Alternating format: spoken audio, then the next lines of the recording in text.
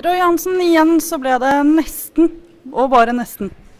Ja, vi har vært nære poeng i alle kampene, så i dag har vi mer enn nok sjanser til å ta tre poeng. Men uh, vi er litt ineffektive, og bra målvakt i frisk bur gjør at uh, vi ikke får med oss poeng. Og så har man ikke helt marginene på sin side. Det er noen som går i stolpen, noen som snur på linja. Ja, vi har pucker dansende på linja. Vi har tre frilegger som vi ikke ser er i ikke klarer å sette. Vi har uh, nok muligheter til å avgjøre matchen i første og andre periode. Så, så, men vi var bra med mot uh, Lørenskog også, hadde fortjent poeng der. Så, og også mot uh, Storhamar. Så litt, litt motvind, men det, det vil snu etter hvert. Hvordan påvirker det gutta med, med den type kamper som har vært nå, at de føler at de fortjener mer?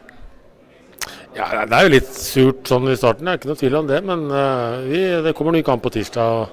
Kampene kommer tett her, så uh, ikke marginene med oss i noen av kampene så langt. Men det, vi satser på at det jevner seg ut.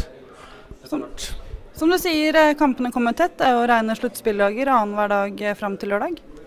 Ja, det kommer tre tette kamper nå, så, så uh, det er full mulighet til å reversere seg. Vi har hatt tre jevne kamper og tapt alle. Det, det håper vi snur snart. Hva er det som må gjøres for å snu på det, da?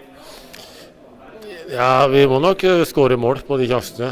Så mye sjanser som vi har i dag, er det sjelden vi har hatt uh, så lenge jeg har vært her. Men vi må få pucken over linja. fordi om Dahlberg var bra i mål, så, så er det avslutningsegenskapene som ikke er bra nok i dag. Og så ble gutta hardt straffa i undertallet også? Ja, Frisk har henta mye spillere, de, så de har bra importer som, uh, som ikke trenger så mange sjanser for å, for å sette, sette pucken. Så det er jo det som avgjør uh, for, uh, for, Frisk i dag. vi er jo det førende laget, det beste laget i tre perioder, men vi har, vi har noen spillere som ikke trenger så veldig mye sjanser for å skåre. Men apropos å hente spillere, ny spiller inn. Fabian ble banens beste i dag. Hva kan du si om han i kampen her?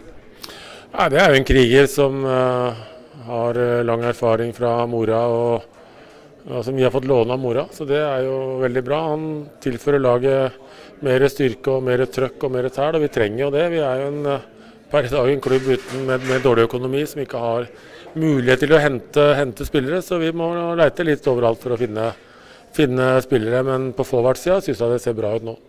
Så er det bare å håpe på at eh, skuddene sitter eh, på tirsdag mot Sparta, da. At det blir poeng da. Ja, vi håper det.